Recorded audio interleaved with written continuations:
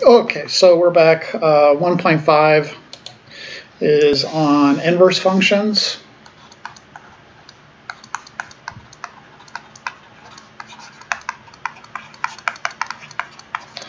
And to show something, to, to show that two functions are inverses of each other, we need the cancellation equations. Okay. And uh, basically, f and g are inverses if they satisfy the following criteria. So cancellation equations um, say that if uh, f is the inverse of g, or vice versa, then uh, f of g of x will equal x for all x in the domain of G. And then uh, G of f of x will equal x for all x in the domain of f. Okay. So in this case,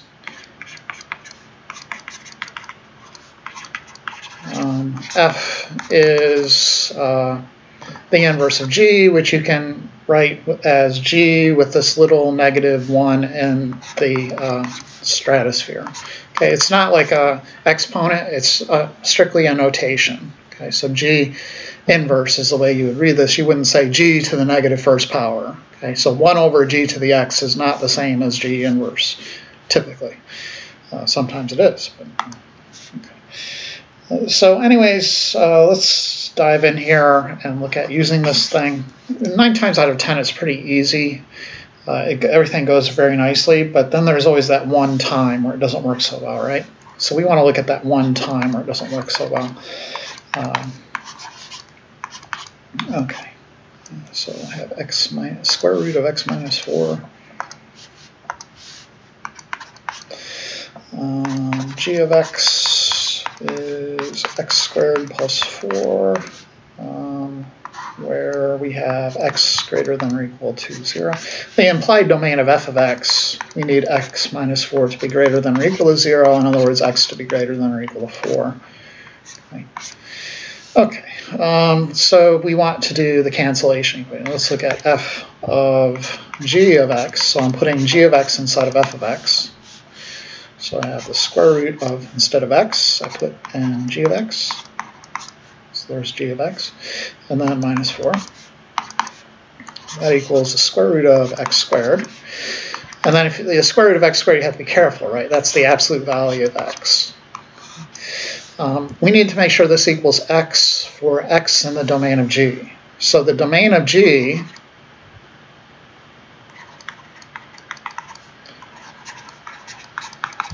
is what? It, it was uh, x greater than or equal to 0. Okay, so it, basically they're saying anything that I put into here, any of the numbers x that I put in here are going to be positive numbers. So if you put like 5 in there, what's the absolute value of 5? It's just 5. Put 10 in there, what's the absolute value of 10? It's just 10. So if you put x in there, the absolute value of x in that case be x. So it's kind of a, a, little technicality there in this, this problem you have to be careful about. But like I said, 9 times out of 10, they're, they're pretty silly. Um, let's do the other way around now. So I'll have the square root of x minus 4 squared 4. Um, the domain of f of x really doesn't matter that much here, except you know you can't put things that are negatives and radicals. Um, squaring a square root will give you x minus 4, and then plus 4, and that will equal x. Okay. Um, so again, that, that will work in, in this particular domain, in particular the domain of f of x which is x greater than or equal to 4. So it's not that, you know, it has to equal x um, like everywhere. It's not like this, like this is y equals x. It's just that it has to equal x on the domain of the function that's going inside of it. Okay, so you could have it equaling x, but x is restricted like this guy was. Um, right here, right? So x is greater than or equal to 0. Okay, so that's one of the, the harder ones. Like I said, usually it's just a matter of uh, algebra, and they work out real nice. Okay. Um, existence of inverses. How do I know something has an inverse? Um, there's kind of the the uh, hardcore mathematician from 19 from the 1900s version, uh, where you'll suppose f of uh, x1 equals f of x2, and you'll show um, that x1 equals x2. Okay, and basically what that says is that it's one to one. Okay, so if some a function is one to one, then it's invertible. So if one to one, then invertible. And what I've just given you there is the definition, this part A here, is the definition of a function which is invertible. Basically, if f of x1 equals f of x2, then x1 has to equal x2. Okay? Um, let's let's before we get into that, let's let's build some intuition. Okay, so let's just look at one to oneness. Uh, so with regards to the um, relations and the arrow diagrams, um, let's take a look at this guy. Okay, this guy is, uh, let's put another dot in there. This guy is a function, but it's not one-to-one. -one. Okay, let me get rid of that third dot there. It's a function, and you see every element in the x, uh, every element in the domain here goes to exactly one element in the range. Okay, but it's not one to one. I could write one, two, one like that. Okay, looks like one minus one, but it's one to one. Okay, um, why isn't one to one? And it's because of this guy right here. Okay, so these uh, this y value it has two different things going to it, and that's bad. That means it's not one to one. Um, so what would be one to one? One to one things are really really well behaved. So to be one to one, everything over here has to go to just one thing on the other side. Basically, that's all you can do. Um, one way to think about it, it's a function in both directions. So if you think about going from here to here, you can't have any of that splitting, right? You can't have any of this crazy business where it splits in the two directions. But also in the other direction, you have to avoid splitting as well. So you can't have one point in the y in the in the range going to two different places like this guy here we circled. Okay. um, let's maybe another way to think of it is the, the there's a, like a horizontal line test. Okay, so first, I guess this would be the the what do we call these the, the graph the arrow diagrams. When you're looking at the actual graphs of your your functions, um, there's a horizontal line test you can do. Okay.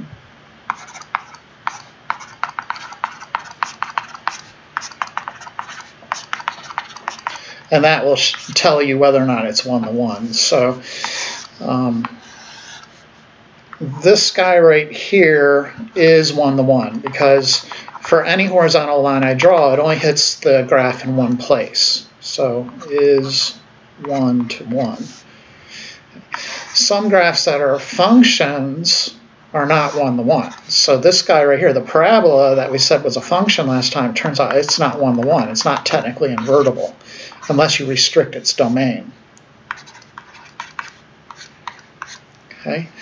Okay, so what does that really mean algebraically? Getting back to now to this uh, part A definition, f of x1 equals f of x2 implies x1 equals x2.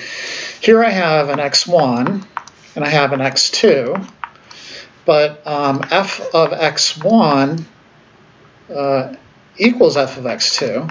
I shouldn't have said but, I mean f of x1 equals f of x2. That y coordinate is the same. The height at those of those points is the same. But uh, x1 is not equal to x2. Okay? So for one to one is to hold, you need, if f of x1 equals f of x2, x1 and x2 better be the same thing. Otherwise, you're out of luck. Okay, okay. so um, you can think of it in terms of the horizontal line test, but there's kind of this more technical way of showing it that I'll just introduce you to. I won't hold you accountable for it unless you want to go on to become a math major. Then you need to be able to do this stuff. Okay, But uh, proving that something is one-to-one will look a bit like this. Prove um, this function f of x equals 3x plus 1 is one-to-one. Okay. Okay, so how would this work? Um, so I'm going to write proof. Um, suppose, you always start proofs with supposing something. Suppose x1 and x2 are randomly selected uh, integers, or rather real numbers, right? We're working with real numbers. Randomly selected, we'll just say numbers. And then we want to show, if we suppose um, this f of x1 equals f of x2, that x1 will in fact equal x2. And we can show that using algebra. Okay, so we use algebra to kind of connect these.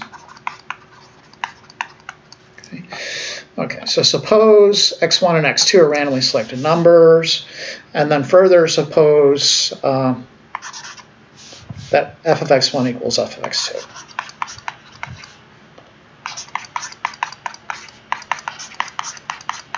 Okay. Uh, then we're going to use algebra. So note what is f of x1 equaling f of x2 imply. We do substitution using the original function. That means 3x1 plus 1 equals 3x2 plus 1. And then we use algebra to show that x1 is equal to x2. So I subtract 1 from both sides. 3x1 is 3x2. Divide both sides by 3. So x1 equals x2, which is what we want to show. Okay?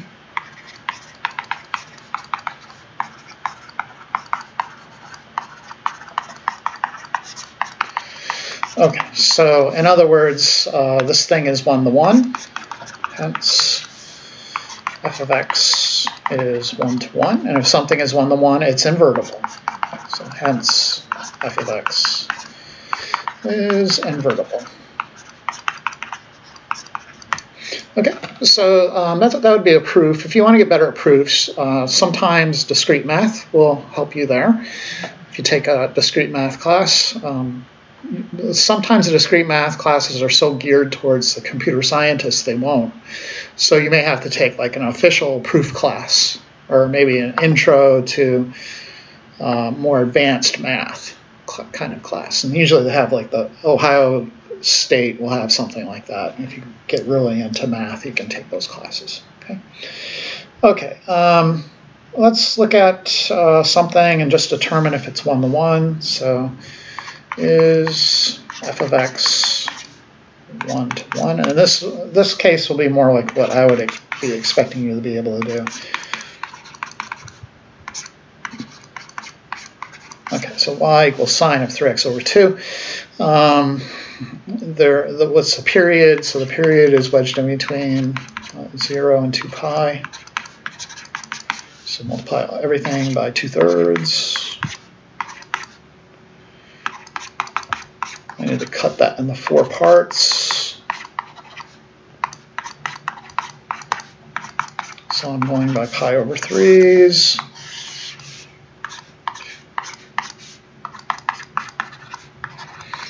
And if you want to challenge yourself, you can always pause the video and uh, try to do it on your own and then see if you get what I get. So I'm, I'm just graphing it.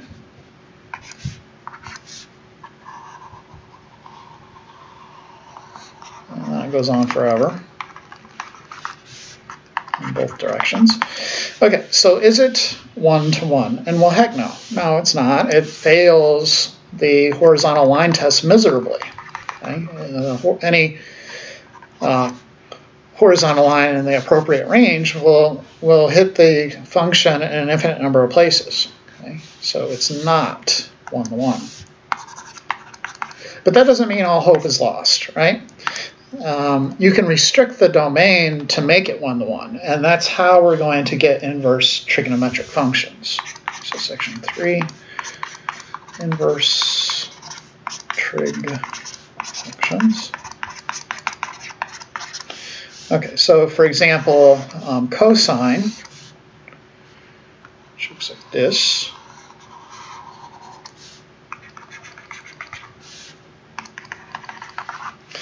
um, is not one-to-one, -one, but if we restrict the domain from uh, 0 to pi, then it will pass the test, right? So you'll just have this part of the graph that I'm drawing over in blue, Okay? And then that passes the horizontal line test. Okay? So um, y, y uh, equals cosine x, but we're going to restrict the domain to 0 to pi. Okay? And then we can invert it. And of course, to invert it, you kind of do a rotation about the line y equals x. And this is kind of a weird rotation. But it'll end up looking like this. Okay. Um, so now the domain is from uh, negative 1 to 1, and the range is from 0 to pi. So that'll be y equals arc cosine of x, which is also equivalently written, written as cosine inverse x. Those are the same. Okay, okay so great. Um, we could do this with all the trig functions, and they all have kind of their same, or, or rather, uh, different uh, restrictions. Um, the restrictions are kind of arbitrarily made and agreed upon. Okay, so you could restrict the cosine to other domains and it would be invertible, but mathematicians have agreed upon 0 to pi is kind of the best uh, for cosine. For sine, they agreed on uh, the domain from negative pi over 2 to the pi over 2. And then for tan, uh, the domain, open parentheses there, um, open parentheses, negative pi over 2 to pi over 2. And then the cofunctions are kind of attached to, it's like, like the, the interval for cotangent is uh, kind of similar to cosines. Okay, but uh, you can look those up in the book if you need them. Okay, okay. So let's look at some some of these some examples. Okay, for example, the arc sine of one half. So it's asking basically the sine of what angle equals one half is kind of the question in the cloud. Okay. Um, there's an infinite number of answers, but the range, the output of arc sine is restricted. It's the range of arc sine, so if you have y equals uh, arc sine of x, its range will be the domain of sine of x. So its range will be from negative pi over 2 to pi over 2. So you're looking for answers in that range. Just like the range of cosine inverse or arc cosine is going to be from 0 to pi. Okay, so yeah, there's an infinite number of answers for this um, for this theta, uh, but you only want the ones in the range from negative pi over 2 to pi over 2. Okay? okay, so the reference angle that gives you 1 half is uh, pi over 6. And for it to be positive, you need the angle in the first quadrant. Okay, so pi over 6. Uh, maybe another one. So arc cotan of negative root 3. Okay. So um, this is kind of begging the question, the cotan of what angle is equal to negative root 3? Okay? And for cotan, our uh, range is going to be like the range of, of co cosine. So the range will go from 0, but not including 0, to uh, pi, not including pi. Okay, and you can look that up in the book as well. So you want the angle in that range um, that gives you negative root 3. So the reference angle for cotan of theta equaling root just root 3 is going to be, um, I guess it's pi over 6 again, in it? So it's pi over 6. But we don't want this angle here. We want the angle that's going to give us a negative value. Okay, so we want this angle over here in the second quadrant. And what is this? This is 1, 2, 3, 4, uh, 5 pi over 6. Okay, so the answer is 5 pi over 6. Okay, okay. Um, using right triangles solve these problems.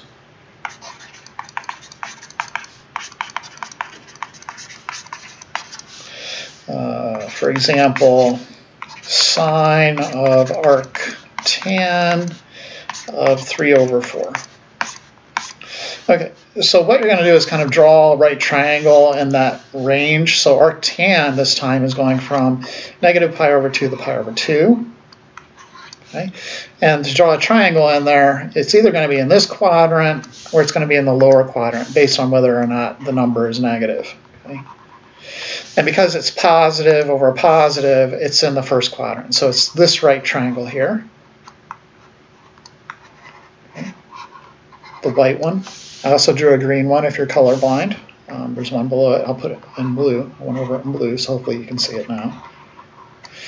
Um, or you just wouldn't be able to see the color. Okay, okay that's in blue now. So we want the white right triangle. Arctan, um, inside of it, what's going on the inside here is the ratio of sides of a right triangle, right? So um, it's going to be opposite over um, adjacent. Right? So opposite must be 3, and then adjacent must be 4. So the bottom uh, line is 4. Okay, let me extract that triangle and draw it a little better triangle. So the opposite is 3 and the adjacent is 4. Then to get to the third side, you use Pythagorean theorem, right? So a squared plus b squared is c squared, where a is a leg, b is a leg, and c is a hypotenuse. So this is a hypotenuse. All right, so put in 3. Um, squared is 9, plus 4 squared is 16.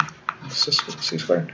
So c is going to be the square root of 25, which is 5. And if you know a lot about triangles, special 345 triangle, right? Okay. Um, so then we need to take the sine of this angle here. Okay, so the sine then is what? Well, sine is opposite over hypotenuse, so this must be 3 all over 5. You just take opposite and then all over hypotenuse 5.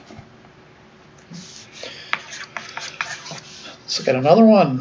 Um, cosecant of arctan of negative 5 twelfths. So this time, uh, again, where arctan is in this range, from negative pi over 2 to the pi over 2, uh, we want tan, um, the triangle which is negative, so it's going to be this triangle this time. Okay, so it's the opposite side so there's theta in there. The opposite side is the negative side. Okay, so it's uh, opposite over hypotenuse. So negative 5 is right here, smushing it in, over, um, sorry, opposite over adjacent, and then 12 is right here. So let me extract the triangle.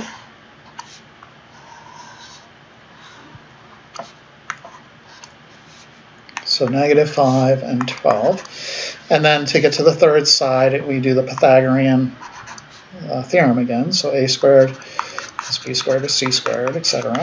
So 144 plus 25 is c squared.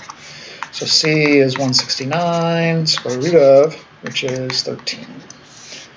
The cosecant then is 1 over sine. Sine is opposite over hypotenuse, so cosecant is hypotenuse, which is 13, all over um,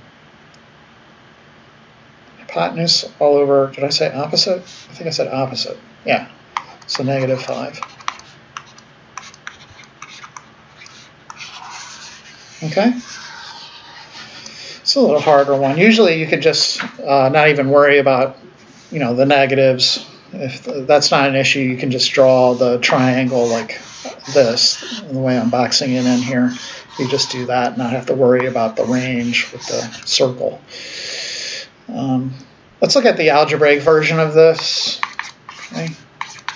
So eventually we're going to be wanting to, and it's not until Calc 2, unfortunately, we'll need to be able to rewrite um, expressions uh, that are composites of trig functions algebraically. So the cosine of arc sine of 2x.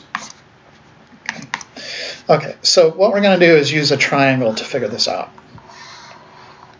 So this arc sine thing is an angle. We'll call that theta. We'll put that on our right triangle. And then the input of arc sine is the ratio of sides of a right triangle. Right? So 2x is the same as 2x over 1. And for arc sine, that means um, we have 2x as our um, opposite, and then 1 as our hypotenuse. Okay? So on the triangle, 2x will go here, and then 1 will go here. And then you're going to use the Pythagorean theorem to get the third side. So a squared plus b squared is 2x equals 1 squared, which is 1.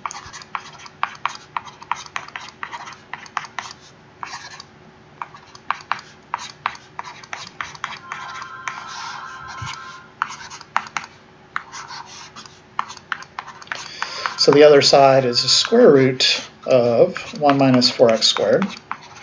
Okay. So the cosine of this triangle, it's uh, adjacent over hypotenuse, so that'll be 1 minus 4x squared, square root of 1 minus 4x squared. Okay. Let's try maybe uh, one more of those. Okay. So another example, tan of arc secant of x over 3.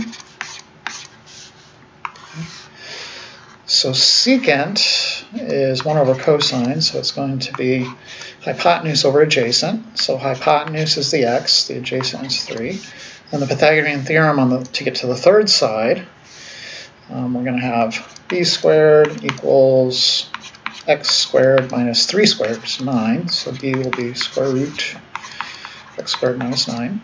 I did that kind of quick. If you didn't see it, it's uh, 3 squared plus b squared equals x squared originally. The legs squared, the sum of the legs squared equals um, the hypotenuse squared. Then I moved the 3 squared over, and then I took the square root of both sides. So this side. And you don't have to worry about the plus or minuses here. Maybe if it, you know, sometimes maybe you would, but uh, not here. Okay. Um, tan of secant, so tan is opposite all over adjacent. Okay. Okay.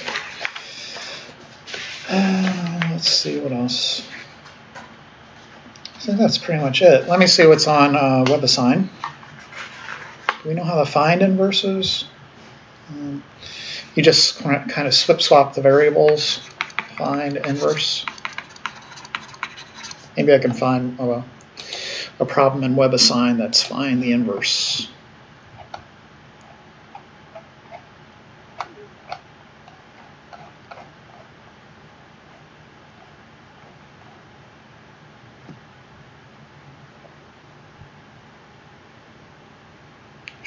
So number six, you have to find the inverse and um, the, the domain of both of these. Okay, so f of x is x minus 3 squared.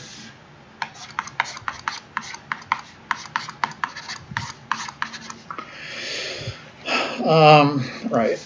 So generally what you, you're going to end up doing is switching the variables. That's what you probably were taught before. Apparently in the software, it doesn't look like you need to do that though, which kind of ticks me off. Um, So they, they want you to find f inverse of y, right? So, so you're not technically switching the variables. So normally you would go x equals y minus 3 squared, and then uh, take the square root on both sides. So plus or minus square root of x equals um, y. So y, um, yeah, equals plus or minus square root of x which wouldn't be a function. So th this original guy has to be restricted or something. Is it? Yeah, for x less than or equal to 3 is the original domain. Okay, so um, if x is less than or equal to 3, then what does this thing look like? So x squared looks like this x minus 3, shift over 1, 2, 3, so it looks like this. And then x less than or equal to 3 is just the left half. So let me put that in yellow, it's just this part of it. Okay. And then if we want its inverse, we just kind of rotate it about that line there. So it'll look like um, 0, I'm trying to figure out. So, so if this is 3, 0, 0, 3 has to be on the graph. 2, 3. So maybe up here. And then we'll go through and go up like that. Okay. Believe it or not, that is the graph of the inverse. Um, not exactly, right?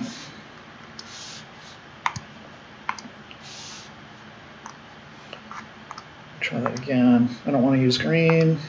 There we go, sorry. Okay, so it's going to look like that.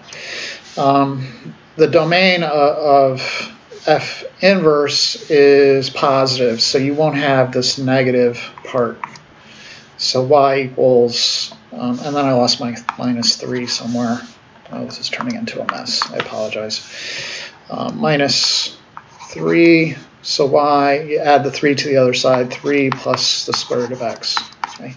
And that's f inverse of x. And, the software,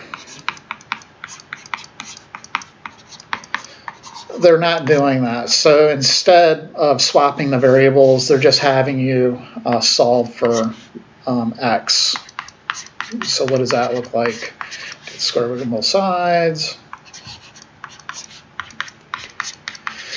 Um, add the 3 over, and then they're going to call that f inverse of y. Okay? And of course, its domain is going from uh, uh, negative infinity to 3. You tell that by the graph.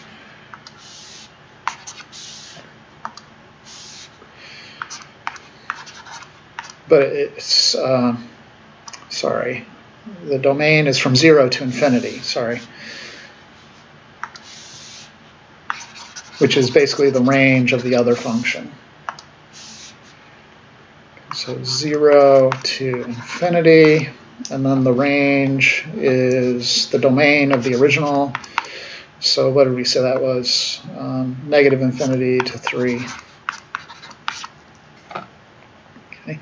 So, um, and that should be a closed like. So one thing about inverse functions, if you, if uh, the domain of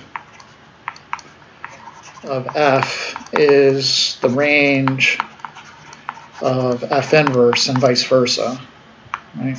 The range of f is the domain of f inverse. Okay. Maybe we should look at another one of those.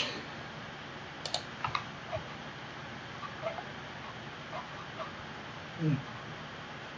Oh, this one goes back to f inverse of x. So I don't know why they're asking for f inverse of y. That just makes no sense. Is there another f inverse problem we can do? Sure, let's, let's this guy. And then they want the domain and ranges. Okay, so let's try this one. f of x is x squared minus 25.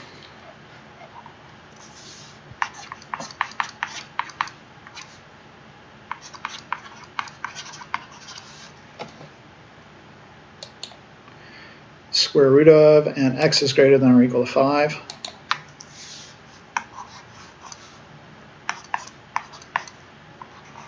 Okay, so to get f inverse, I'm just going to write this out as like this.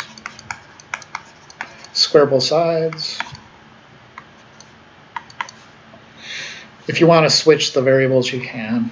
So um, even before you square both sides.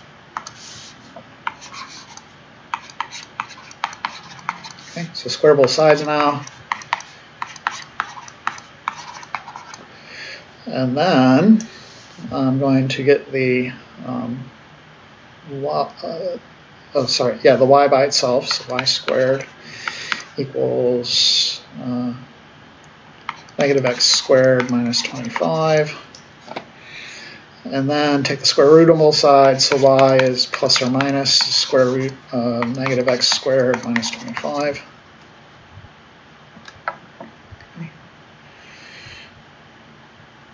Oops, did I screw up? It should be just x. Yeah, I did.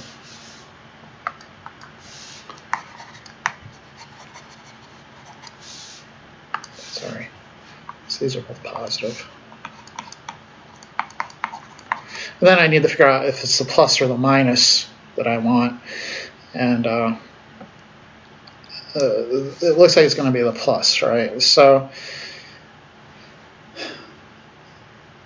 um, how do I know that? When x is greater than or equal to 5, uh, let's take a look. You may just have to graph it to kind of finagle it. I hate to be like that. Did I screw this up?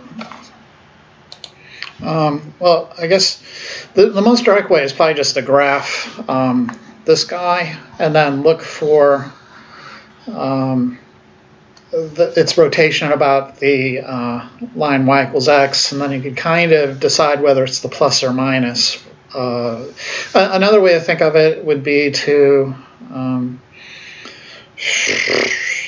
well, you, you, know the domain here of f, and uh, domain of f is the interval from 5 to infinity, so you know that the, the range of uh, this guy here, f inverse at the bottom of the page, must also be 5 to infinity. So for it, for the range to be 5 to infinity, you need the plus version. Okay, so it has to be the y equals plus um, square root x squared plus 25. Okay. So anyways, the domains are there. Um, what's the range of this thing? In other words, what's the domain of this character? Um, I would say it's uh, you have uh, x squared has to be greater than or equal to 0. So if you add 25 to it, it's greater than or equal to, um, that's not going to work, I apologize. Um, let's look on Desmos, and we can kind of pick it off there. Okay, so let's go to Desmos. I hate to use it, but oh well. Um, does most and take a look. Every once in a while, it's kind of like, eh, it's you know, it's out there. I might as well use it. Graphing calculator. Okay, so what did I have? Um, square root of x squared minus 25. x squared minus 25. Whoops.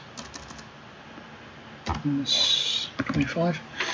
And, and so when we say x greater than um, uh, 5, we're, we're taking the branch on the right. Okay, so if we needed to graph this thing, um, the graph of f is this thing right here. Okay, so to get the graph of f inverse, what we do is just rotate that about the line y equals x. And what we end up with is this guy right here. Okay, so it looks like the um, domain of f inverse must be 0 to infinity. Okay? And we could go ahead and graph that guy as well. So there's a plus and a minus version. So our ours is the plus version because our, our y values are positive. Okay, so let's go ahead and graph the other guy, x squared plus 25. y equals square root of x squared plus 25. And, um, oops, don't want to do that. And you can see what, what, what the answer is, the positive branch is the branch on the right. Okay. Um,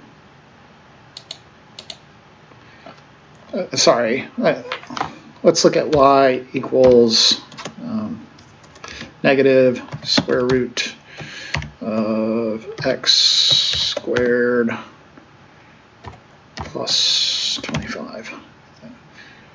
So it's actually, yeah, the, the blue one is the positive branch, and then there's a green one, which is the negative branch.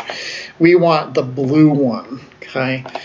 But even there, we have to restrict it, right? We have to restrict the blue one to have a domain from zero to infinity. Otherwise, it wouldn't be invertible either.